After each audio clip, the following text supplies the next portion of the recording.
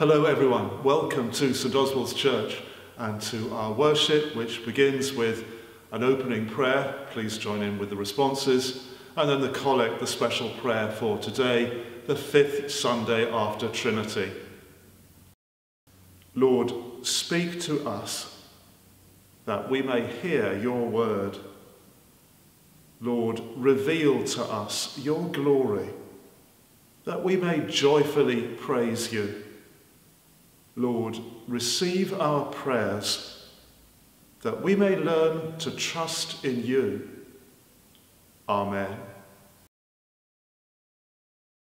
Almighty and everlasting God, by whose Spirit the whole body of the Church is governed and sanctified, hear our prayer, which we offer for all your faithful people that each in their vocation and ministry may serve you in holiness and truth to the glory of your name, through our Lord and Saviour, Jesus Christ. Amen. And now I invite you to join with our choir for the first hymn, Give Thanks with a Grateful Heart.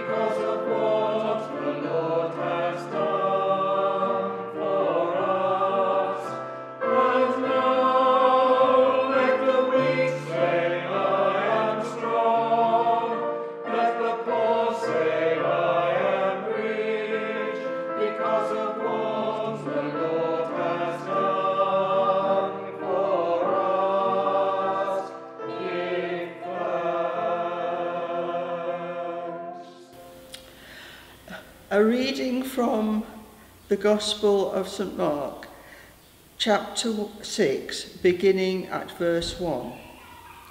Jesus went to his hometown accompanied by his disciples. When the Sabbath came, he began to teach in the synagogue, and many who heard him were amazed. When did this man get these, these things? They asked.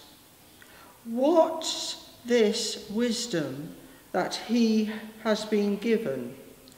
What are these remarkable miracles he is performing? Isn't this the carpenter? Isn't this Mary's son and the brother of James, Joseph, Judas, and Simon? Aren't his sisters here with us? And they um, took offence at him. Jesus said to them, A prophet is not without honour, except in his own town, among his relatives and his own home. He could not do any miracles there except lay his hands on a few people who were ill and heal them. He was amazed at their lack of faith. Then Jesus went among around teaching from village to village.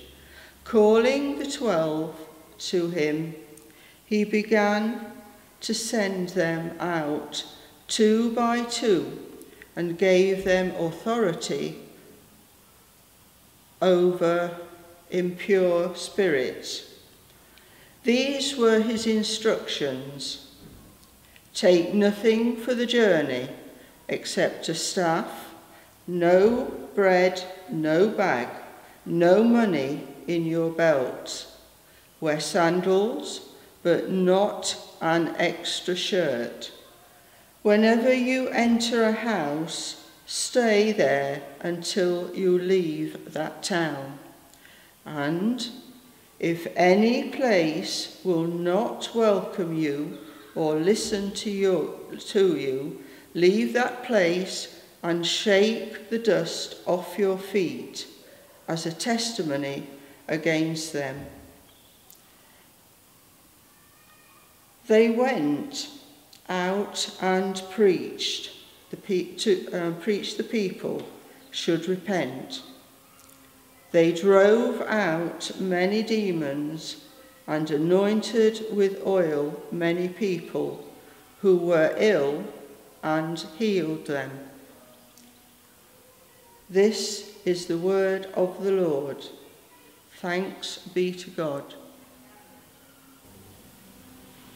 In last week's reading, we saw Jesus taking a fatherly role towards a woman in very great need. This week's reading from Mark's Gospel prompts reflection on a different family relationship, that of sibling, brother. The people of Nazareth refer to Jesus as the brother of James, Joseph, Judas, and Simon, all common Jewish names at the time. And they mention his sisters also. There's some disagreement about what that might actually mean. Are these half sisters and brothers of Jesus, children of Joseph by a previous marriage? Or are the terms brother and sister being used loosely to refer to other relations, maybe cousins? The most natural understanding is to regard these brothers and sisters as children of Mary and Joseph who joined the family in the years following the birth of Jesus himself and to whom he was their elder brother. Do you have an older brother? Or maybe you are an older brother. Older brothers and sisters, too, often play a significant role as protector, mentor, and example. Here's just one instance that comes to mind. I recently finished reading Michelle Obama's memoir, Becoming. Reminds me of the review on Amazon. I gave that book to my mother for Christmas, and she still hasn't become Michelle Obama. Be that as it may, uh, in the book, uh, Michelle Obama tells how, as a young girl, she learned to leave behind her natural shyness and reserve and to make new friends in the community, in the slipstream, as it were, of her more confident and outgoing older brother, Craig. That older brotherly role of protector, mentor, and example was one which we see Jesus taking towards his disciples in our reading. Having shown them the ropes, he gives them a job and his very own authority to get on with that job. It's a role and relationship he takes towards us too, as his adopted sisters and brothers. So St. Paul speaks of Jesus as the firstborn amongst many brothers and sisters in the family of believers. Interestingly, perhaps the most famous example of an elder brother in the Bible uh, is a negative one. You probably remember the parable of the prodigal son told by Jesus in Luke's Gospel. In that parable, the younger of two brothers insults his father and throws the family into disarray by prematurely demanding his inheritance and offering it to a distant land where he wastes that inheritance on riotous living before returning home destitute and, it must be added, deeply penitent. Whereas their father welcomes him with open arms and throws a feast to celebrate. The elder brother is filled with resentment, objects strongly to the festivities, and excludes himself from this joyful reunion. I found that in discussion groups, people often have a lot of sympathy for the older brother, and understandably so. If the younger brother is to be fully readmitted to the family, into the bosom of the family, then he will be living off what in due course should be the inheritance of his sibling, having squandered his own inheritance. The older brother will therefore pay the price for his younger brother's return to the family fold. Luke presents this parable as directed by Jesus at the pious folk who scorned his friendship with those they regarded as unworthy sinners. But I wonder if Jesus had first preached the parable to himself. He knew that welcoming sinners would ultimately prove costly to himself, leading to death on the cross. He had a choice to make and choose he did. As the children's chorus puts it, I had a debt I could not pay. He paid the price he did not owe. I needed someone to wash my sins away. But now I sing a brand new song, for Jesus came and he washed my sins away. Unlike the older brother in the parable. Jesus, our elder brother, made the choice for love and joy.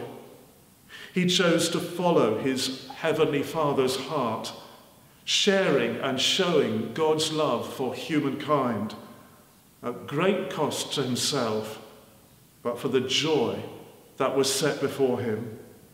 The joy of being firstborn among many new sisters and brothers. The joy of a true and loving older brother. Let's join together now in the family prayer which he taught us, saying, Our Father in heaven, hallowed be your name. Your kingdom come your will be done on earth as in heaven.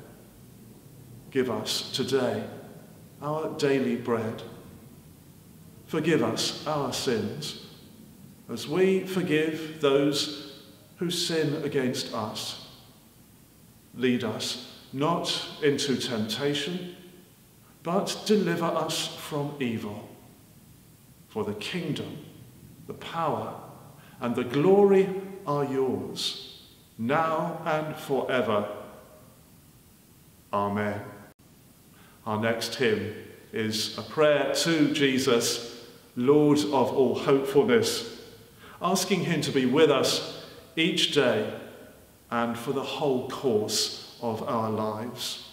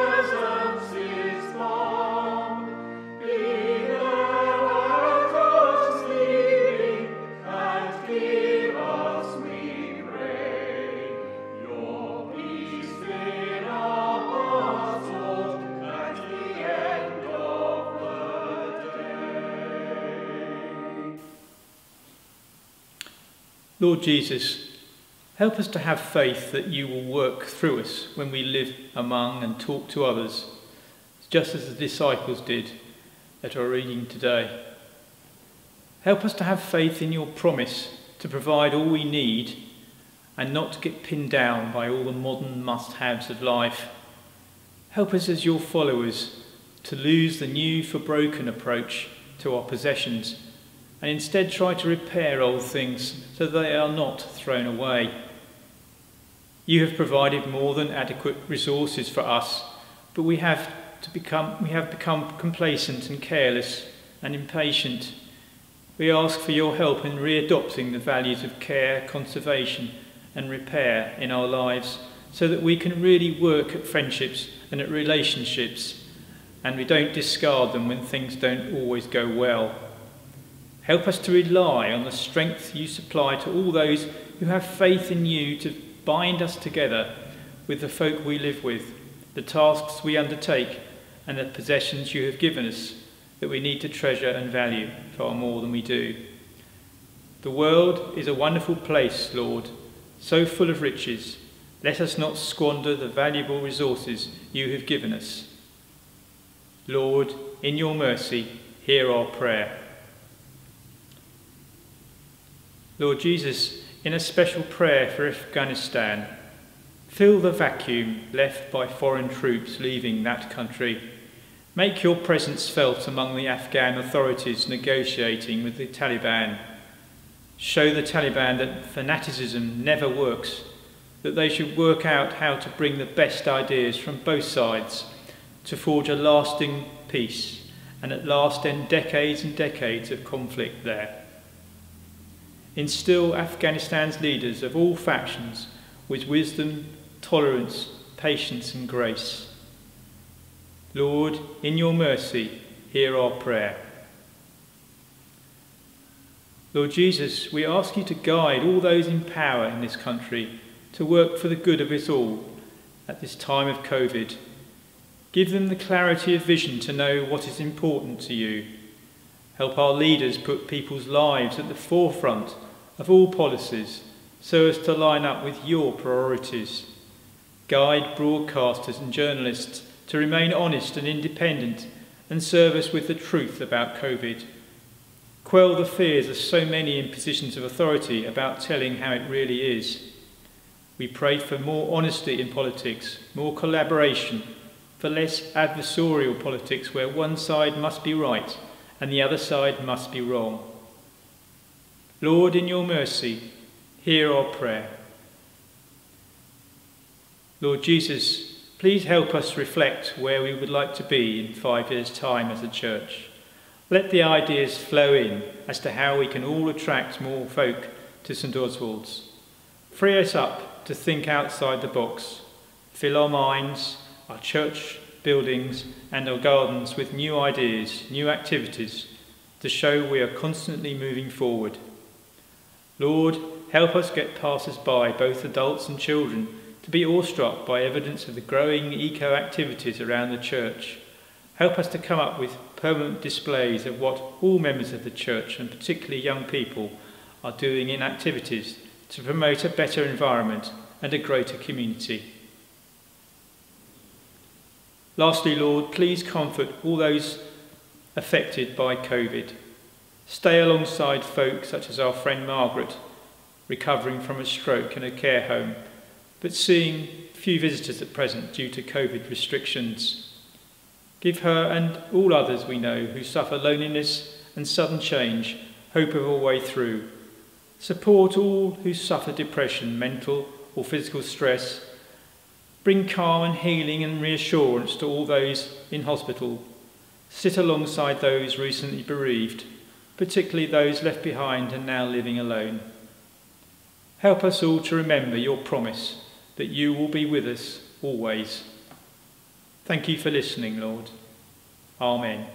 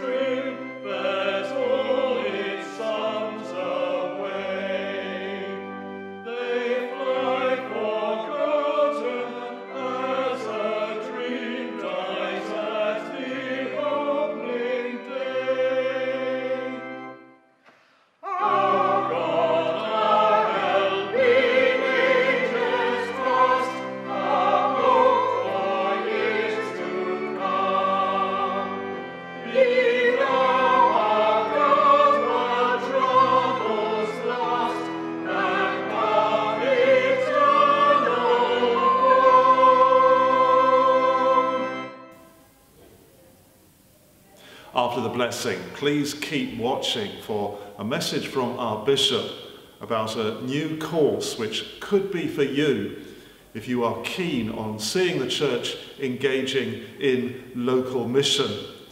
And that will be followed by details of an online meeting tomorrow evening with a speaker from the Children's Society on youth, young people, and uh, mental health.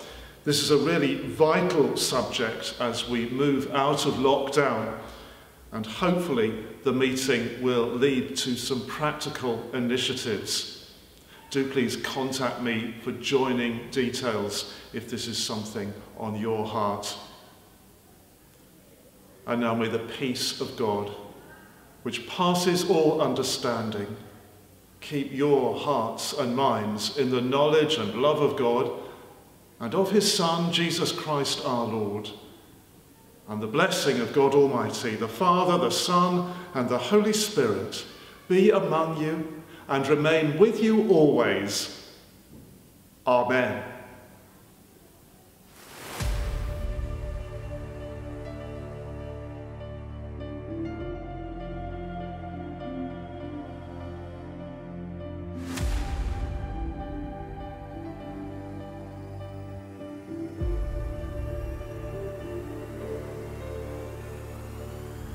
You a pioneer? They spot opportunities, going into new communities, going out there and, and seeing where God is already at work. We've recognised the need to invest in pioneers here in the diocese, and we're doing that by encouraging you and equipping you to reimagine your future in new and creative ways. So, will you join us